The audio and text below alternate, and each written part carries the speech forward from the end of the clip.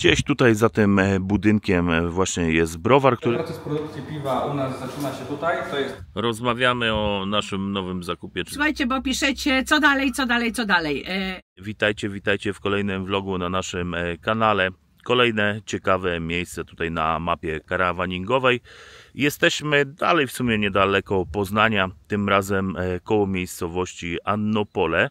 E, Znajduje się tutaj, no nie wiem czy będziecie widać, bo wam kamper zasłania, ale gdzieś tam za mną jest browar Gzub.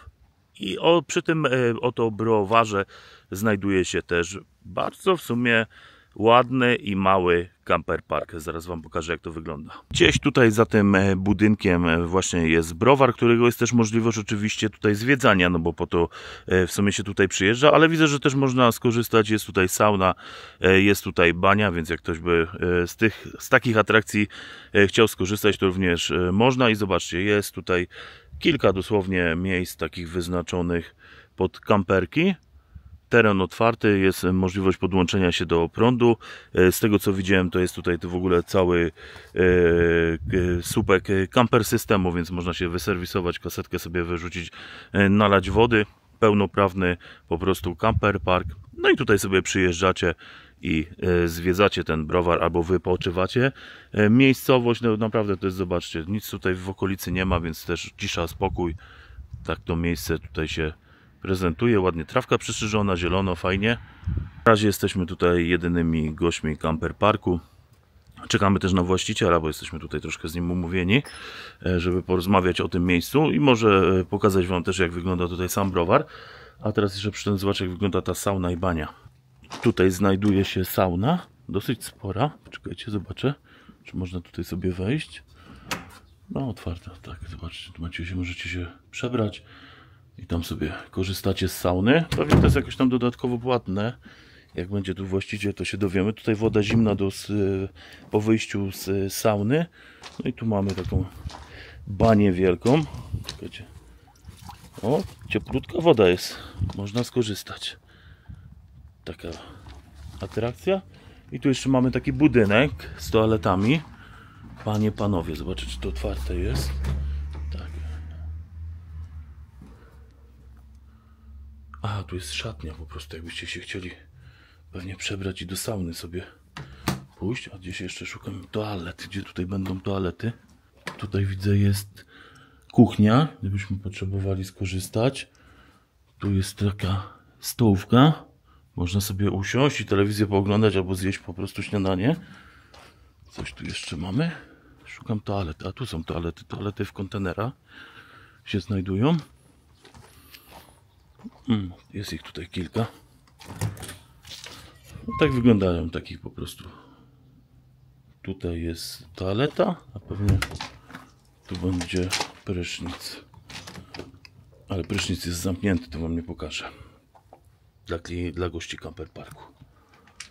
No, takie coś tutaj mamy. O, a tutaj zobaczcie. Jest ten browar. Chyba tutaj, nie wiem gdzie tam, albo tam gdzieś dalej za tym budynkiem. Właśnie teraz e, spotkaliśmy tutaj e, właściciela tego browaru i camper parku. Jesteśmy tutaj po rozmowie. E, Miejsce funkcjonuje już dosyć długo. Taki był pomysł, bo tutaj właściciel też miał jakieś tam korzenie, wiecie, karawaningowe i sobie po prostu tutaj otworzył dla gości camper park, bo czasem jakiś kamperek przyjechał właśnie do browaru, jest tutaj niedaleko dosyć ruchliwa trasa, więc e, ludzie też tutaj sobie na nocleg e, wpadają. Co do korzystania z tych atrakcji tutaj jak bania i e, sauna, no to dla gości tutaj camper parku jest zniżka 50% i jakbyście sobie przyjechali chcieli to wynająć, to dwie godzinki dla Was tutaj, dla gości camper parku to koszt e, 100 zł za to. Tak nam przynajmniej teraz właściciel powiedział. I też nas za chwilę e, tutaj zabierze na oprowadzanie tego browaru, więc zobaczymy e, jak taki browar wygląda i jak się w takich browarach produkuje piwo. A teraz e, trochę wyjmiemy sobie tutaj krzesełka, stoliki, bo zrobiła naprawdę się ładna pogoda, trzeba korzystać póki jeszcze to słońce jest, bo jeszcze do końca tygodnia ma być ciepło i fajnie i przyjemnie, a później znowu ma się chłodek zrobić. Ona się tutaj wzięła za wyjmowanie. Mały stolik idzie i dwa krzesełka. Wozimy jeszcze ze sobą też rowerki. No ale chyba już to je ostatnie tutaj dni na bagażniku. Ja już je chyba będę zdejmował i zanosił, bo Przed nami teraz e, góry, trochę nie, w górach będziemy. Później nie będziecie Ale jeździć. Zastanawiam się, czy słoneczko, czy... Na słońce poszedł, bo jest cieplej zdecydowanie na słońcu. Tutaj właściciel właśnie browaru całego? Cześć, e, przyszły sukcesor. Właścicielem jestem, browar jest na mamę. Tak więc e, tutaj zaprosił nas teraz na zwiedzanie browaru. Ile to tak mniej więcej trwa? Jest to w ogóle w programie tutaj, Camper Parku, czy coś można z taką usługę wykupić u Was? Najczęściej po prostu ludzie pytają, czy Aha. można zwiedzić, czy akurat jesteśmy na miejscu, no bo wiadomo, jak mamy sezon wysoki, lato, teraz zrobiło się chwilowo, chwilowo późna wiosna, e, złota polska jesień, no to ktoś pyta, czy może browar zobaczyć, to jakby jak najbardziej zobaczyć tutaj przyjeżdżając na camper park e, można. No problemem są jakieś tam większe grupy, to jak 20-30 Aha. osób, to trzeba się umówić wcześniej, ale no to wtedy oprowadza kuzyn, jest Ale to jest tak odpłatne, taka usługa? tak, wtedy to jest odpłatna z opcją degustacji. No wiadomo, jak mamy latem. No tutaj... A, bo tutaj macie też taki namiot tak, wielki. Mamy tutaj namiot, mamy funkcjonujący przez lato ogródek piwny. Osiem różnych piw z nalewaka można się tutaj napić. Dodatkowo wiadomo, jakąś butelkę na wynos yy, zakupić, że też kierowca. Piwo bezalkoholowe też mamy. Kawa, herbata, jakieś przekąski. Funkcjonuje też u nas taka prosta gastronomia. Jest kiełbaska z grilla, pyrka z gzikiem, więc No, coś, coś lokalnego. Szkoda, że w weekend nie przyjechaliśmy, bo... No właśnie ten weekend. Ale teraz na weekend w ogóle odpalacie to poza sezonem, teraz czy nie? właśnie- Nie. Teraz właśnie w ten weekend mieliśmy zamknięcie sezonu, Aha. no bo już dzień krótszy, pogoda jest Chłodniej. kapryśna. No, no teraz mamy cieplutko, w zasadzie możemy w krótkich koszulkach chodzić, te bluzy można byłoby ściągnąć, a dwa dni temu trzeba było w kurce tutaj chodzić, no bo jak widać nie mamy wokół za bardzo e, lasu, nic nie jest w stanie nas od e, wiatru odsłonić i po prostu czasami ten wiatr niestety nas tutaj e, pokonuje. Ale jak jest tutaj lato, czerwiec, lipiec, sierpień, no to w weekendami to tutaj jest pełno, pełno ludzi, bo jest tutaj obok kolejka wąskotorowa. Jest to też tutaj jedyna trasa, gdzie można w miarę bezstresowo przejechać rowerem, bo dwie okoliczne to są dosyć drogi szybkiego, szybkiego ruchu. Zatem tutaj rodziny z dziećmi sobie przyjeżdżają, dzieciaki mają się gdzie, gdzie, gdzie pobawić. Tata piwko, mama kawa Wieczorem jest co i porobić. się, i się żyje jakoś na tej wsi u nas. Jest też sklepik z browarami tutaj. Zobaczymy, jak byście jest coś sklepik, można piwo też kupić Kupić. prawie o każdej Boże. porze dnia i nocy. Przejdziemy takim nieoficjalnym trochę. Teraz uprzedzę e, pytanie w komentarzach. Nie, piwa z cebuli nie robimy. A zobaczycie dlaczego. Można spojrzeć na prawo. A, pełno cebuli. No poza tym, że mamy tutaj browar, kemping, saunę, e, to jeszcze tata jest cały czas czynnym rolnikiem i po prostu no, no cebulę sadzimy. No co można, co innego Polacy mogliby, Kukurydza. też nie brakuje. Ale cebula to pod... zapraszam. Cześć, cześć, Darek. Myślę, że to będzie osoba, która będzie mogła Was wtajemniczyć, jak robimy piwo u nas w Zubie. Super. Czyli Państwo kanał podróżniczy. Tak jest. Tak jest. Ale tak ogólnie chcemy pokazać, bo jeszcze w takim miejscu nie byliśmy. Okej, dobrze. No, muszę przyznać, że Panią skądś Z telewizji. Może z telewizji. Proces produkcji piwa u nas zaczyna się tutaj. To jest e, magazyn słodów i filtrowanie. Tutaj przyjeżdża do nas e, słód. Słód to jest drugi zaraz po wodzie e, główny surowiec piwowarski, e, z którego uzyskujemy, że tak powiem, ciało piwa, czyli ten cukier, który potem drożdże w magiczny sposób przefermentują nam na alkohol. E, I tutaj jest taka zasadnicza różnica, że na przykład no, browary rzemieślnicze właśnie no, bazują głównie na słodzie jako tym surowcu, z którego pozyskiwany jest cukier w piwie. Niestety no, często jest tak, że dużo wieloskalowe browary e, no, posługują się jeszcze innymi mniej szlachetnymi e, uzupełniaczami cukrowymi, że tak powiem, do pozyskiwania tej wydajności, że tak powiem, i, i, i ekstraktu e, w, w piwie. E, My jako browar rzemieślniczy bazujemy w 100% na, na słodach, głównie jest to słód jęczmienny, e, często też w przypadku piw pszenicznych pszeniczne. E, Stosujemy też słody żytnie, e, słody owsiane, w zależności od stylu i gatunku piwa. A to jest tak, to jak cukier trochę? Tak wygląda? E, Nie, to wygląda, ja mogę tutaj zaprezentować, jeśli coś tam mi się tutaj uda uszczknąć. Uda się. Aha, to jest... To jest słód. E, To jest akurat słód jęczmienny, tak właśnie wygląda. E, Czym jest słód? E, Bo tego nie powiedziałem. Słód to jest ziarno właśnie jęczmienia, pszenicy, owsa, które najpierw jest poddawane procesowi kiełkowania. E, I w procesie tego kiełkowania w tym ziarnie zachodzi do przemian, e, w wyniku których, że tak powiem, powstają tutaj enzymy w sposób no, naturalny, które potem tą skrobię zawartą w ziarnie um, pozwalają nam rozłożyć na cukry proste. E, No bo bez tego drożdże nie, były, nie miałyby tak łatwego dostępu i tak nie byłyby w stanie łatwo tego przefermentować po prostu potem na e, alkohol. Jak tutaj pokazałem, e, właśnie w formie nieześrutowanej, czyli w formie całego ziarna. My musimy go tylko potem jeszcze przed procesem zacierania rozdrobnić. E, Taką mączkę. tak, znaczy no nie, tutaj akurat tak wygląda, bo to jest ten pył, który się osadza, e, ale tutaj no, osoba, która danego dnia jest odpowiedzialna za to tak zwane śrutowanie, e, no, dlatego tu jest ten wziernik, żeby tą frakcję cały czas nadzorować, bo my nie możemy tego zbyt drobno zmienić. rozumiem. E, ani nie może nam przelatywać w całości, bo wtedy tracimy na wydajności. E, My musimy się dostać do tego bielma, czyli do tego środka, ale musimy też łuskę zachować w całości, bo ona nam potem też służy jako taki no, surowiec, e, że tak powiem, filtracyjny potem na kolejnych e, etapach. Wszystko się przydaje. Wszystko się przydaje, dokładnie. I tutaj transferujemy już ten ześrutowany, czyli wstępnie no, zmielony słód e, o danej ilości, jaką potrzebujemy na określoną warkę. E, tutaj do tego kotła to jest kać zacierna warzelna. E, I tutaj na ten słód czeka już woda o temperaturze 60 stopni e, w ilości 2500 litrów. E, Będę się tak posługiwał, bo Tak, tak, tak. najczęściej. E, I zaczynamy proces zacierania, czyli rozkładamy za pomocą enzymów w określonej temperaturze e, tą skrobię na cukry proste, tak żeby potem no, drożdże miały łatwiejszą pracę do, e, do wykonania. Ten proces tutaj trwa około godziny. E, W tym czasie z tych 60 stopni podnosimy temperaturę do 78-80 stopni e, i kończymy proces zacierania. On trwa no, około godzinki.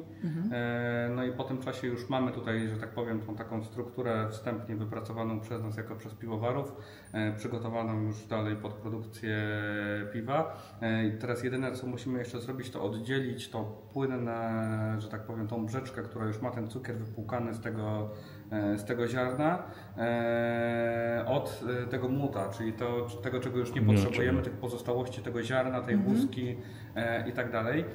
W tym celu transferujemy zacier na górę do kadzi filtracyjnej. Tutaj jak się cofniemy kawałek, to będzie ją bardzo dobrze widać.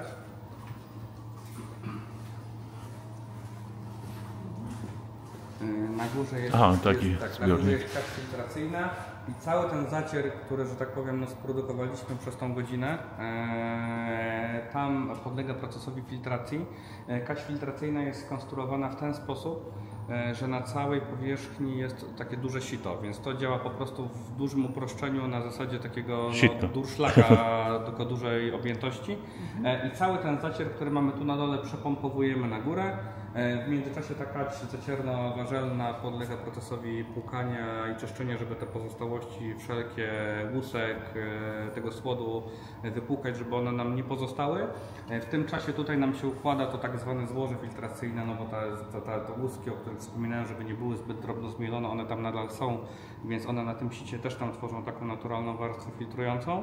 E, No i tak po około 15-20 minutach rozpoczynamy proces e, filtracji, e, czyli otwieramy zawory w kadzi filtracyjnej i to co gęste zostaje nam na sicie, czyli to młoto, którego już my potem jako piwowarze nie potrzebujemy, a brzeczkę odzyskujemy sobie z powrotem grawitacyjnie w kadzi zacierno-warzelnej i w ten sposób uzyskujemy finalnie 4000 litrów brzeczki tutaj w kadzi. W międzyczasie dopuszczając tam gorącą wodę o temperaturze 80 stopni, bo tak jak wspomina- wspominałem, zacieraliśmy w 2,5 tysiąca e, litrach litrów wody. E, No i musimy jeszcze wypłukać te cukry, które są w, tym, w tej strukturze młuta zawarte. Przepłukać jej po prostu. Przepłukać dokładnie, żeby wszystkie cukry możliwie maksymalnie dla wydajności, żeby wydobyć i uzyskać je tutaj e, na dole w kadzi warzelnej. No i w ten sposób mniej więcej... Czyli to leci na y, Góra, dół. Tu i stąd. na dół, nie? W Dokładnie, międzyczasie jeszcze dokładnie, poczekać. dokładnie, dokładnie. E, I zbieramy te 4000 litrów brzeczki e, na dole. E, No i tu znowu się posłużę przykładem, bo najczęściej robimy dwunastki, czyli piwo o 12 stopniach ekstraktu i to jest 5,1% alkoholu. E, I zbieramy sobie tutaj, że tak powiem, te 4000 litrów tej brzeczki z tych 650 kg słodu. E, No i rozpoczynamy proces gotowania. E, I to jest pierwszy etap, na którym do piwa możemy dodać chmiel. E, Znaczy, na, że tak powiem, my zaczynamy dodawać chmiel. Czyli rozpoczynamy tak, intensywne gotowanie, brzeczka zaczyna się gotować, gotuje się przez godzinę. E, no i teraz e, rolą piwowara jest tylko, że tak powiem, w zależności od danego stylu piwa, dodać chmiel tak, żeby, on miał, żeby to piwo miało zarówno goryczkę, jak i aromat. No i teraz na, na taką ilość piwa mamy przypisaną określoną ilość e, chmielu. E, w przypadku pilsa jest to, jest to 5 kg. I my musimy jako piwowarze podzielić to po prostu tak, żeby piwo miało zarówno goryczkę, jak i aromat. No bo z I gotow- stąd się bierze smak piwa, i stąd tak? się bierze smak, dokładnie. E, I teraz tak, e, im więcej chmielu dodamy na początku gotowania i im dłużej będziemy to piwo gotować razem z chmielem, a gotowanie trwa około godziny, e, tym bardziej, że tak powiem, te substancje, które są w chmielu zawarte, pójdą nam w stronę goryczki. E, A im później dodamy chmiel w trakcie tego godzinnego gotowania, tym bardziej pójdzie nam w aromat. To jest tak samo Aha. jak z gotowaniem czegokolwiek w domu. Jak dodajemy przyprawy na początku gotowania, to bardziej idą nam w smak, a jak sobie czymś posypiemy na koniec gotowania, no to bardziej idzie nam e, w aromat. I tak samo jest z dodawaniem chmielu. Tak więc tutaj rolą piwowara jest po prostu takie rozbicie tej puli chmielu przypisanej na daną warkę, e, żeby to piwo miało zarówno odpowiednią goryczkę, jak odpowiedni aromat. No i po tym chmieleniu godzinnym, jak już mamy tą brzeczkę i z tym cukrem i już nachmieloną, musimy ją schłodzić tak, żeby teraz drożdże mogły nam z tego zrobić e, piwo. E, w tym celu używamy tego urządzenia, to jest płytowy wymiennik e, ciepła. Chłodziarka. Chłodziarka, dokładnie, w skrócie chłodziarka.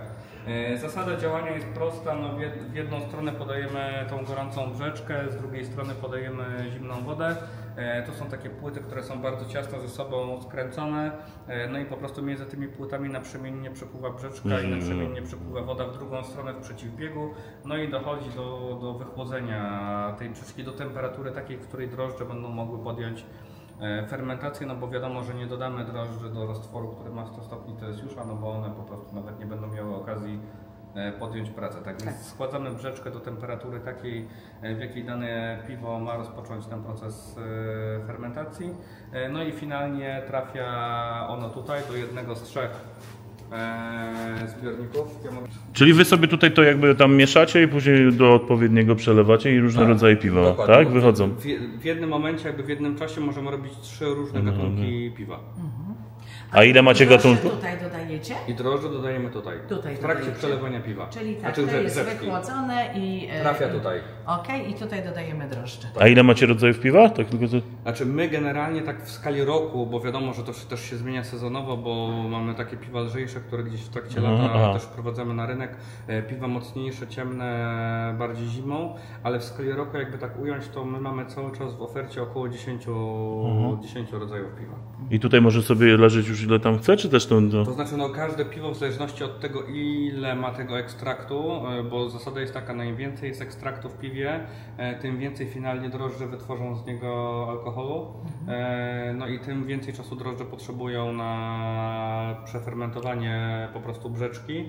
Tak więc no, naj, taka uproszczona zasada jest taka, że im większy jest ten ekstrakt, a takie najmocniejsze u nas piwo, czyli antracyt, ma 23 stopnie ekstraktu i finalnie jest z tego 10% alkoholu, tak więc to, To wiadomo, że takie, tak, że takie piwo potrzebuje, te drożdże potrzebują więcej Mhm. czasu na, że tak powiem, przefermentowanie tej brzeczki niż w przypadku e, pilsa, który ma połowę e, To tego ekstraktu. pils ile się fermentuje taki E, U standardowo? nas tutaj na fermentacji samej jest około 10 dni, e, no i potem po tych 10 do 12 dni trafia jeszcze na leżakowanie na tydzień do Spoko. dwóch, e, żeby się wy, wyklarował. Zbiorniki leżakowe, gdzie z kolei składamy piwo do temperatury no takiej leżakowania, czyli dojrzewania, e, te, które tego wymagają. E, No bo tutaj jest wiadomo fermentacja, temperatura taka jaka powinna być optymalna dla, dla drożdży, czyli no w przypadku piw górnej fermentacji to 18-19 stopni, w przypadku piw dolnej fermentacji 13-14 stopni.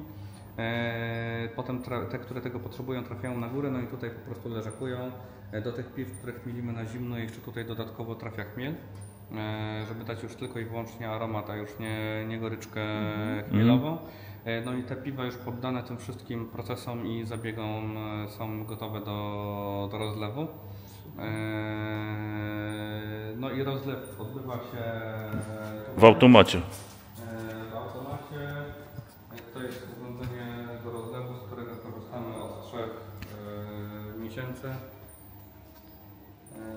Czyli samo rozlewa, samo korkuje, kapsluje, etykiety, wszystko samo. Tak, y, tylko trzeba butelki y, jeszcze nałożyć i zdjąć. To już się odbywa, e, to już się odbywa ręcznie. E, My teraz doszliśmy do wydajności takiej, że na rozlew jesteśmy w stanie, że tak powiem, zabutelkować 3000 butelek na godzinę. Ło, naprawdę? To tyle? Tak, jak, że tak powiem wszystko. To, to taki zbiornik to ile to jest? W ile? Znaczy, bo jeszcze beczki rozlewamy osobno, w trochę innym systemie, Aha. tu rozlewamy butelki, no generalnie rozlew tak jakby z- z przygotowaniem, bo sam rozlew jak już ruszy tutaj na maszynie, e, no to jest taka jedna czwarta procesu. E, Ale cała reszta to jest przygotowanie urządzenia, dezynfekcja, mycie, e, przygotowanie instalacji, no bo my tutaj produkujemy piwa niefiltrowane, niepasteryzowane, e, tak więc no higiena stoi na najwyższym poziomie, tak więc samo mycie i przygotowanie urządzeń trwa prawie tyle, co sam Proces naturalny. No i bywa, że tak powiem, zdarzają się spiętrzenia, ale dajemy, dajemy radę. Widzieliście fajny, mały browar, ciekawe rzeczy można było się dowiedzieć na temat e, produkcji piwa. E, My sobie też takie tutaj w pobliskim sklepie zakupiliśmy, zaraz wam pokażę. W sklepie znajdziecie różne piwa, my sobie wzięliśmy antracy, to jest takie bardzo ciemne piwo i dosyć mocne też piwo, nie? To nie wiem, tam około 10% miało, no. No i tutaj pszeniczne oczywiście. Standardzik, prawda? browar Gzub. O, i szklaneczki tutaj ładne jeszcze dostaliśmy do tego piwka. I jeszcze tutaj e, właściciel nam mówił, że wiecie co, tutaj jak wam pokazywałem ten domek i tam tą taką stołówkę e, czy świetlicę, to on mówił, że jak sobie to jest, e, ten cały domek jest, jeżeli sobie wynajmiecie banie tutaj czy saunę, Banie, sauny, czyli cały ten jakby pakiet. tak, jak sobie możecie sobie siedzieć albo w bani, albo w saunie i albo tam macie dla, dla, do, dla siebie pomieszczenie też przeznaczone, że możecie sobie przyjść, czegoś się napić, coś zjeść sobie, zrobić takie jedzenie. No całkiem takie widzicie, no przyjemne miejsce, żeby sobie spędzić tutaj weekend. Cisza i spokój przede wszystkim. Teraz tak jeszcze sobie siedzimy i tutaj Pauliną rozmawiamy o naszym nowym zakupie, czyli naszym na- kamperku, co tutaj będzie można e, z naszego kampera zabrać, no ale raczej chyba za dużo rzeczy nie będziemy zabiera- zabierać. Nawet, że tak powiem, nie sprawdziłem sobie jakie są w Fordzie, ale nawet mamy tutaj przecież komplet nowych praktycznie opon. Tu są wielosezonowe, a jeszcze mam przecież zimówki do tego kampera i to chyba też trzeba będzie wszystko po prostu przekazać nowemu właścicielowi, bo do Forda nie, raczej to nie będzie pasować, czy będzie jakieś nowe kupić, chociaż tam chyba jest też, e, znaczy to jest, no jest wykupiony też pakiet ten Nordcap, w którym są e, też zawarte właśnie w tym nowym e, kamperze opony bodajże wielosezonowe, ale to jak już będziemy sobie odbierać tego kampera, to wszystko będziemy sobie sprawdzać. No i dywaników też nie zabierzemy, no wszystko praktycznie musi tu zostać, jedynie chyba gazbanki, nie? Jedynie gazbanki zabierzemy, no bo tam też jest jakby, mamy już ogrzewanie, tam jest ogrzewanie dieslowe, więc to też będziemy testować, zobaczymy czy to jest lepsze niż mieć trumę. No, No, a- chyba nasz akumulator ten A, akumulator, no tak, akum ale to jak ktoś sobie kupi ten, e, tego kampera, to ja po prostu dam, mam jeszcze jedną setkę taką chyba live po nie, damy po prostu, albo ten przełożymy z nowego, no nie wiem, zobaczymy tak naprawdę, jeszcze się zastanawiamy. Akumulator zabiorę po prostu swój, bo już nie będę drugiego e, składał, ale ten no tutaj wsadzimy jakiś inny akumulator, żeby nie było tak, że nie ma, no a i gazpangi zabiorę, bo tam jest tak zrobiony, z tego co patrzyłem, e, Ford, że e, tak czy siak tak będę musiał gdzieś poszukać jakiegoś e, miejsca, gdzie chyba nabijają takie gazbanki propanem, bo tam butla już nie jest na podłodze samochodu, tylko jest butla tak trochę poniżej wystaje podłogi, no i w zimę raczej gazbank będzie miał problem. Tylko tam znowu wiecie, no gaz jest używany do lodówki, do grzania wody, bo tam jest oddzielny boiler na wodę i do czego jeszcze? Lodówka? Nie, no do, gotowania. O, taka jed... I tam jest pojedyncza butla. A jak e, ja mówiłem Paulina, wiecie, wiecie teraz jak tamten kamper ma naklejkę tą Nordcap, no to naklejka też zobowiązuje, więc e, chyba zostawię dwa sobie gazbanki ze względu na to, żeby mieć ewentualnie na jakąś podmiankę. Jestem ciekaw tego, tego ogrzewania diesla, jak to wszystko będzie e, działać, a tak reszta po prostu dywaniki, jakieś całe wyposażenie, poduszki, co my tu jeszcze mamy? Tu mnóstwo solary, przetwornice, e, Victron, wewnętrzne, zamki, wszystko, wszystko alarmy. zostaje, tak. Nic do nowego praktycznie kampera nie, nie bierzemy, plus jeszcze mówię komplety opon, no będzie tego trochę, że tak powiem, z takiego dodatkowego wyposażenia. Szkoda się aż z nim rozstawać, powiem Wam. Trzeba, trzeba. Ale, ale też e, nowe idzie, więc e, też się cieszę, że e, spróbuję pojeździć trochę na Fordzie. Ten Ford jest naprawdę bardzo fajnie doposażony. Już chyba tam Ford wsadził wszystko, co mógł do niego. To też, to też będzie inne doznanie. Skrzynia automatyczna też zupełnie inne doznania. Zobaczymy, jak to będzie z tą skrzynią. Ale na pewno na automacie jest dużo przyjemniejsza podróż niż e, na takiej skrzyni. Troszkę zaczął nam tutaj padać deszcz. Zobaczcie, e, cały supeczek camper systemu tutaj się znajduje w tym miejscu. Bez problemu można podjechać, zrobić tutaj serwis. Taki serwis właśnie sobie robimy. Czekam aż tylko e, szara woda nam tutaj zleci i ruszamy z powrotem do Krakowa. Podsumowanie w ogóle naszego wyjazdu, bo dla Was to jest może dwa tygodnie, ale my jesteśmy tak naprawdę po zlocie dopiero dwa dni minęły. Tak, dokładnie. I wiecie co? Po zlocie w właśnie- Poznaniu, po targach w po, Poznaniu ta, prawie. po targach, po jakich e, rewelacyjnych targach, takich szczęśliwych, bo my słuchajcie, dalej jesteśmy w takich Nasze, emocjach. naszych najlepszych targach chyba w życiu. Jeszcze Y- no takich nie byliśmy, gdzie byśmy cokolwiek, w ogóle cokolwiek nowego kupowali. Żebyśmy tak kamper. grubo kupili, prawda, że sobie nowego kamperka kupiliśmy. E, W ogóle e, ten nasz apel taki jest do, do Was wszystkich e, z lotowiczów, nie tylko z lotowiczów, do osób, które przyszły. Jak Wy się cieszyliście z nami, słuchajcie, coś niesamowitego. Bardzo Wam dziękujemy, że tak byliście entuzjastyczni, tak samo jak, jak i my. E, Tak. Fajnie, fajnie było świętować e, no, taką decyzję e, w tak dużym gronie, prawda? No, no, dlatego też może te vlogi nie są zbyt interesujące, bo wiecie, my to tutaj temat pierwszy to jest u nas teraz nowy kamper i co, i jak, i jak, i gdzie ogólnie. Ale mówię, no jeszcze chwilę mamy do tego odbioru, nie? Bo to co wam mówiliśmy, koło grudnia będzie pewnie gdzieś odbiór, zobaczymy jak to się wszystko ułoży. Tak, zgadza się. I słuchajcie, bo piszecie, co dalej, co dalej, co dalej. E, no dalej. E, mamy Znaczy, tego, mam- no, mamy mam naszego plany. kamperka i my będziemy sobie jeszcze nim jeździć, będziemy się tak powalu, pomalutku, pomalutku z nim żegnać. Nie sprzedajemy go na daną chwilę do momentu odbioru tamtego kampera, Tak. bo wiecie co, chcemy po prostu cały czas jeździć i, i nie chcemy się uziemić, że teraz sprzedamy, później tam mamy czekać i nie chcemy czegoś takiego Zresztą robić. też tutaj mamy mnóstwo rzeczy, których później nie bylibyśmy gdzie za bardzo trzymać i trzymać, sobie tak. przełożymy i dopiero będziemy się zastanawiać nad y, sprzedażą, a, no, ale jest Ale ogólnie będzie, na, ale będzie, będzie. Słuchajcie, ja myślę, że tak grudzień, styczeń, że mniej więcej wtedy jakoś tam się zdecydujemy. To wszystko zostawimy w nim, tylko tam parę rzeczy zabierzemy. Nawet tutaj opony zimowe mam do niego, nie? Tutaj, No tak, no to już też chyba chyba w też o Fordzie tym nawet, mówiłeś. nawet nie pasują te. Ale to będziemy dokładnie, dokładnie Wam też o tym mówić. Y, Jeszcze w tym miejscu, no to te pytania, y, y, co dalej? No najbliżej, no to mamy zlot y, na No, gorącym tak. potoku. Przyjedziemy tam chwilkę wcześniej, sobie dopracujemy wszystko.